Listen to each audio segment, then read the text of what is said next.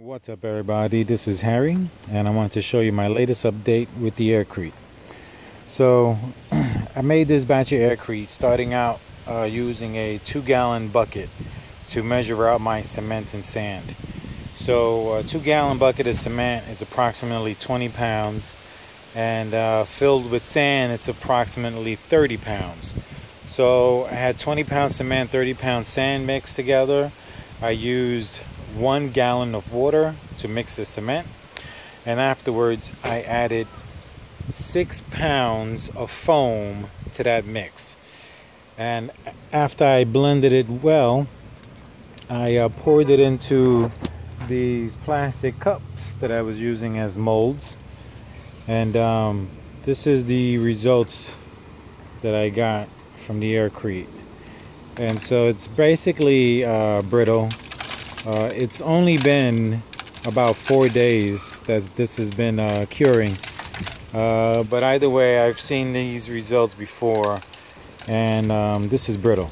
So I was also testing out the Helix micro rebar uh, in this and so it clearly doesn't do anything with this aircrete um, as porous as it is.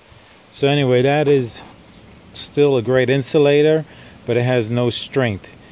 Um, next, what I did was I mixed up uh, the same cement sand ratio uh, to using a two gallon bucket, one gallon of water, and for this mix, I put three pounds of foam. So with three pounds of foam, you can you can compare how it looks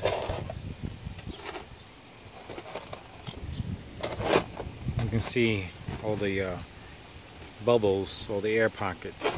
And here you have a, a smoother surface. You can see the, uh, the mold, the cup better. And uh, it's a lot stronger. This has only been curing for two days. Um, but I can feel the strength. It doesn't crumble apart.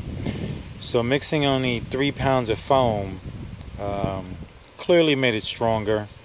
Uh, I, I, don't believe it's going to be as insulative as this one.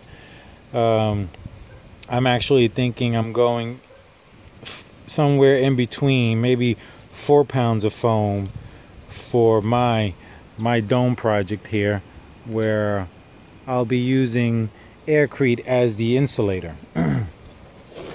so that was the results of uh, three pounds of foam this here you can already see much more detail. This was about two pounds of foam um, and uh, I got a pretty nice very light still very strong. These actually weigh exactly one pound. Uh, I was able to get all of these to weigh a pound. These are a half a pound and these are one pound each uh, even though this was a three pound foam mix and this was a two pound two and a half uh, about a two pound foam mix.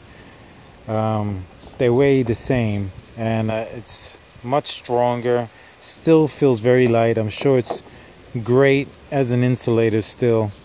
I'll probably do a test later where I put a, a blowtorch to one end and see if I feel the heat transfer to the other anyway that's my latest aircrete uh, experiment update and uh, I'll be back with some more later. Next is to cement these onto my dome all the way around it to act as my uh, spacer for the second airform so anyway that's coming next.